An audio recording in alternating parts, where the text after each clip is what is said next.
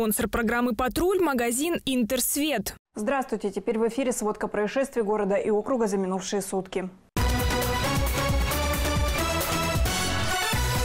На Ямале за прошедшие сутки водители сбили двух пешеходов. Утром 21 октября в Новом Рингое возле церкви на Юшке автомобиль сбил девочку.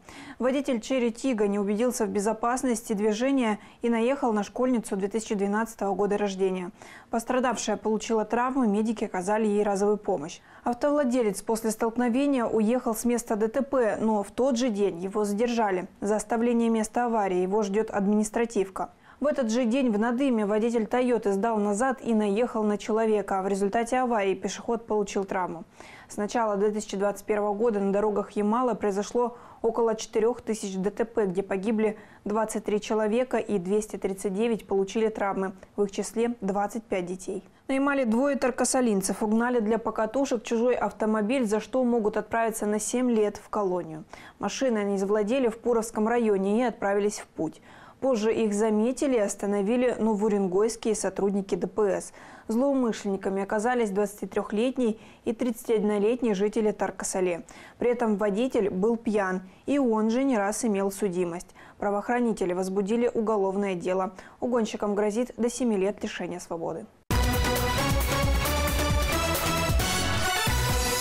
Уральском районе разгорелся крупный коррупционный скандал. Там сотрудница администрации вместе с двумя предпринимателями отмыла 50 миллионов рублей. Согласно реализации нацпроекта «Культура» в селе Котровож администрация должна была построить Дом культуры, что и сделала, но по цене, превышающей реальную стоимость на 50 миллионов рублей. Начальницу управления муниципального имущества подозревают в растрате, ее подельников в пособничестве в растрате. Уголовные дела возбуждены по материалам оперативно-розыскной деятельности РУФСБ по Тюменской области, проверки прокуратуры ЯНАО при содействии окружного правительства. Полиция Надыма поймала интернет-воровку из одноклассников. 32-летняя мошенница из Ярославля создала группу в соцсети, где якобы продавала одежду.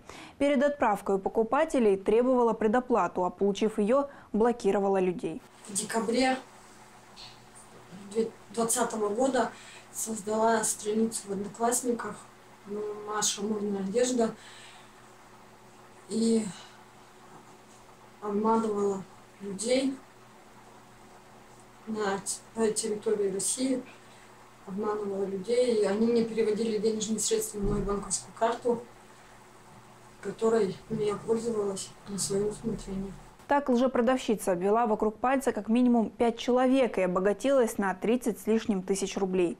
Одной из таких обманутых оказалась жительница Надыма, которая написала заявление в полицию. Правоохранителям удалось поймать злоумышленницу. Она во всем призналась. Теперь ей грозит до двух лет колонии.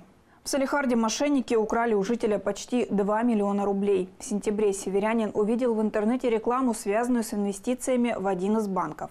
Он заполнил заявку и оставил свои данные. Позже ему позвонил неизвестный, представился аналитиком биржи. Так, в течение месяца потерпевший под руководством злоумышленника отправлял деньги на разные карты банков.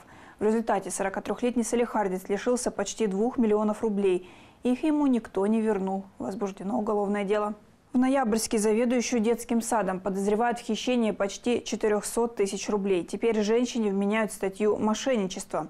Как сообщает следствие, в 2020 и 2021 годах руководитель садика составила приказы, на основании которых ее подчиненным выплачивали деньги за работу, которую те по факту не выполняли. А дальше все шло по накатанной схеме. После выплаты сотрудникам денежных средств за эффективное расширение зоны обслуживания и совмещение должностных обязанностей, они по требованию заведующей передали ей выплаченные средства в размере более 400 тысяч рублей. Указанной суммой подозреваемый распорядился по своему усмотрению. В настоящее время следствием устанавливаются все обстоятельства совершенного преступления. Расследование уголовного дела продолжается. В Ноябрьске поймали несовершеннолетнего наркосбытчика. По данным следствия, 16-летний парень с 29 сентября по 13 октября оборудовал тайники с наркотиками, да еще и в крупном размере. По этому факту возбуждено уголовное дело и ведется следствие. К этому часу у меня все новости. Будьте внимательны на дорогах, берегите себя и окружающих. До встречи в эфире.